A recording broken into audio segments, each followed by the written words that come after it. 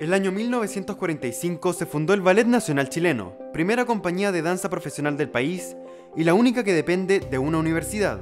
como parte del compromiso de la U de Chile tras la promulgación de la Ley 6696, que buscaba dar vida a una orquesta sinfónica, un coro y un cuerpo de baile. Durante sus 72 años de existencia, la compañía ha presentado más de 250 obras de coreógrafos de diferentes nacionalidades, algunas de gran complejidad y que han demandado un alto nivel a sus integrantes, como Carmina Burana, La Mesa Verde de Kurt Joss, La Vindicación de la Primavera, primera obra de Patricio Bunster tras regresar del exilio, y París Santiago junto a los Jaivas, siendo una de las obras más vistas.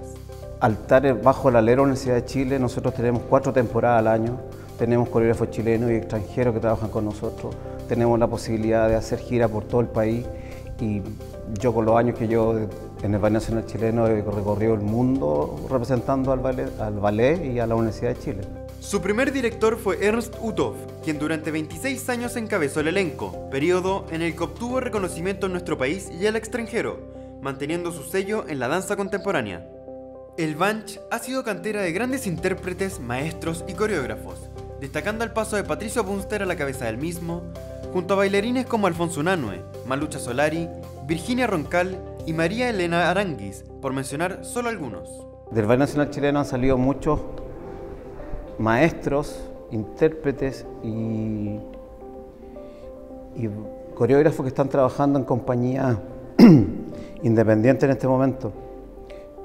Patricio Bunter fue el que, después de trabajar con nosotros cuando retornó a Chile,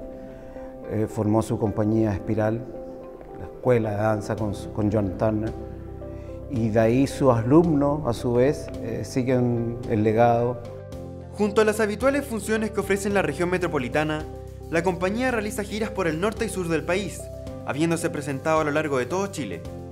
También ha visitado países como Argentina, Uruguay, Paraguay, Bolivia, Brasil, Perú, Costa Rica, México, Estados Unidos y Rumania, desarrollando una importante labor de difusión cultural hacia la ciudadanía, formando a través de sus funciones educativas al público del futuro.